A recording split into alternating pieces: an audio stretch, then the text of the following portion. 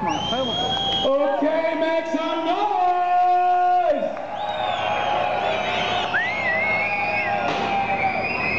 All right, thank you very, very much, Tita, Lisa, Kate, and Vanessa!